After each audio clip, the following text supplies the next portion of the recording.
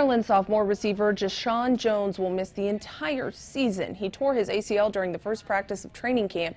Jones will redshirt this season. He played all 12 games last year and he had five touchdowns, the most by any Maryland freshman since Stefon Diggs in 2012. Katie Johnston for WJZ.com.